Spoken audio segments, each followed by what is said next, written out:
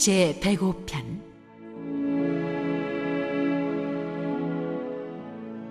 여호와께 감사하고 그의 이름을 불러 아뢰며 그가 하는 일을 만민 중에 알게 할지어다. 그에게 노래하며 그를 찬양하며 그의 모든 기한 일들을 말할지어다. 그의 거룩한 이름을 자랑하라. 여호와를 구하는 자들은 마음이 즐거울지로다. 여호와와 그의 능력을 구할지어다. 그의 얼굴을 항상 구할지어다. 그의 종 아브라함의 후손 곧 택하신 야곱의 자손 너희는 그가 행하신 기적과 그의 이적과 그의 입의 판단을 기억할지어다. 그는 여호와 우리 하나님이시라. 그의 판단이 온 땅에 있도다. 그는 그의 언약 곧 천대에 걸쳐 명령하신 말씀을 영원히 기억하셨으니 이것은 아브라함과 맺은 언약이고 이삭에게 하신 맹세이며 야곱에게 세우신 율례 곧 이스라엘에게 하신 영원한 언약이라 이르시기를 내가 가나안 땅을 네게 주어 너희에게 할당된 소유가 되게 하리라 하셨도다. 그때 그들의 사람 수가 적어 그 땅의 나그네가 되었고 이 족속에게서 저 족속에게로 이 나라에서 다른 민족에게로 떠돌아 다녔도다. 그러나 그는 사람이 그들을 억압하는 것을 용납하지 아니하시고 그들로 말미암아 왕들을 꾸짖어 이르시기를 나의 기름 부은 자를 손대지 말며 나의 선지자들을 해하지 말라 하셨도다. 그가 또 그 땅에 기근이 들게 하사 그들이 의지하고 있는 양식을 다 끊으셨도다.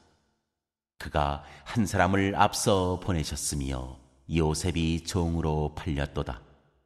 그의 발은 착고를 차고 그의 몸은 쇠사슬에 매였으니 곧 여호와의 말씀이 응할 때까지라.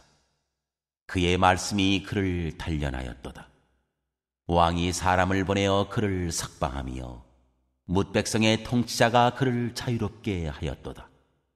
그를 그의 집의 주관자로 삼아 그의 모든 소유를 관리하게 하고 그의 뜻대로 모든 신하를 다스리며 그의 지혜로 장로들을 교훈하게 하였도다. 이에 이스라엘이 애굽에 들어가며 야곱이 함의 땅의 나그네가 되었도다.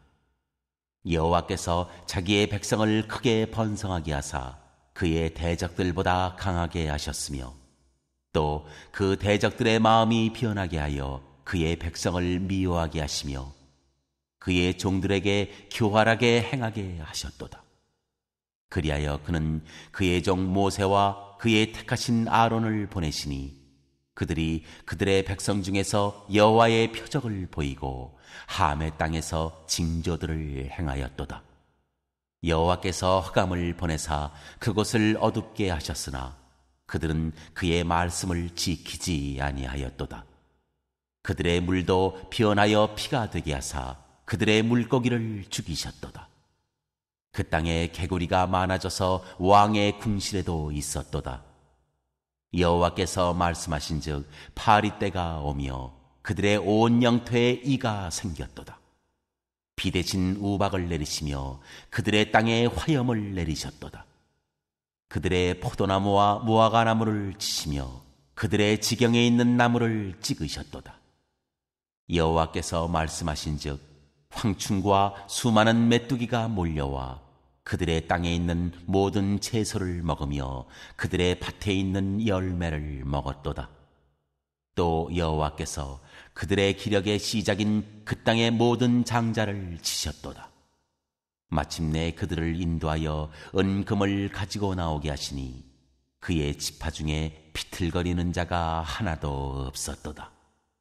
그들이 떠날 때 애굽이 기뻐하였으니 그들이 그들을 두려워함이로다. 여호와께서 낮에는 구름을 펴사 덮개를 삼으시고 밤에는 불로 밝히셨으며 그들이 구한즉 매출하기를 가져오시고 또 하늘의 양식으로 그들을 만족하게 하셨도다. 반석을 여신즉 물이 흘러나와 마른 땅에 강같이 흘렀으니 이는 그의 거룩한 말씀과 그의 종 아브라함을 기억하셨음이로다.